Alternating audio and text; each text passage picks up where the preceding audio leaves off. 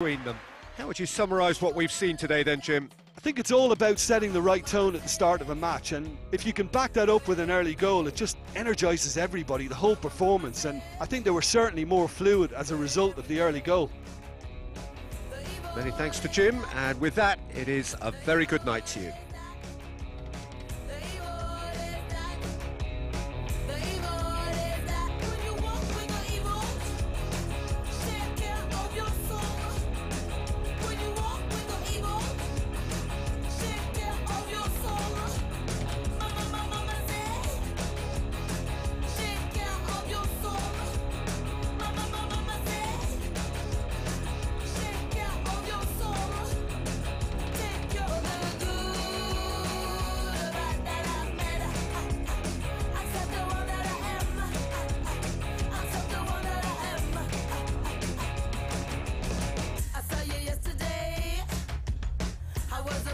yes I do.